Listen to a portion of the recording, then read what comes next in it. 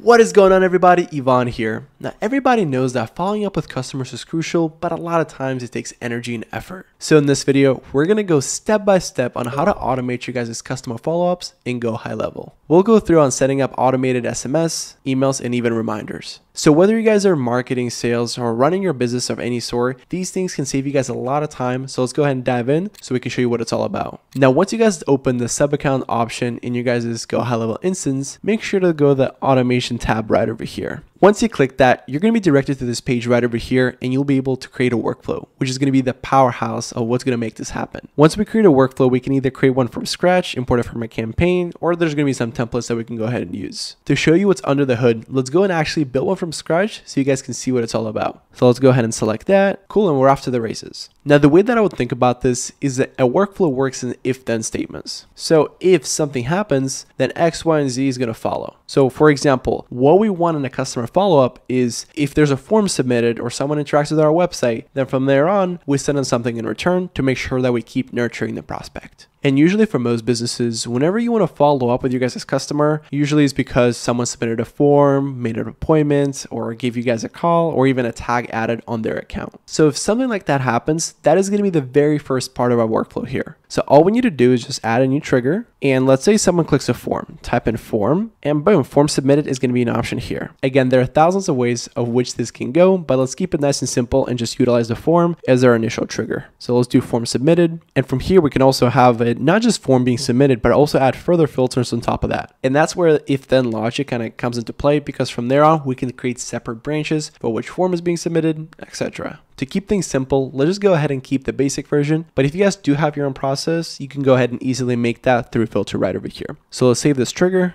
and boom, we're to be ready to rumble. And again, if you guys have another trigger, like somebody booked an appointment or something like that, all you got to do is just add it right over here. Customer booked appointment and bam, you guys are ready to go. So what's gonna be the second step from here? Once someone has actually booked that appointment or filled out that form, usually we need to follow up with them. And that can come through an SMS or an email or some sort of notification for us to actually reach out to the customer. So right over here in the second part, that is gonna be our next step. So for example, when someone submits a form or a customer booked an appointment, all we gotta do is just press the little plus button, type in SMS, and boom. Now whoever does those two things right over here, that's when an SMS is gonna be sent out. We can either do it through a template or we can go ahead and just make one right over here by saying hi. We can actually go ahead and make a custom variable right over here as well by just saying hi, contact, full name, hope all is well. We will be giving you a call shortly. Perfect. Now let's go ahead and save that action. Now every single person that's filled out a form, booked an appointment, they're going to get an SMS. But again, from here, if you guys would like, remember on the forums of the custom booking appointments, they're not going to be all created equal. So if you guys do want, you can go ahead and create that if then logic. So if somebody expressed X, Y, and Z in that forum, you can have a different set of scenarios rather than someone booked an appointment and did something different. You know what I mean? Because they're probably going to be interacting with it a little bit differently. From there on, I would just go ahead and make the workflow have different branches, or you can make it a whole new workflow for it. But again, in the second step, you can go ahead and have an SMS being sent out. It can be an email. It can be a reminder to send out a call, different stuff like that. And if you guys want these things not to happen right away, what I would personally do is just add a delay. So go ahead on the actions, press wait. And let's say we're going to wait, I don't know, 60 minutes or however long you guys want it,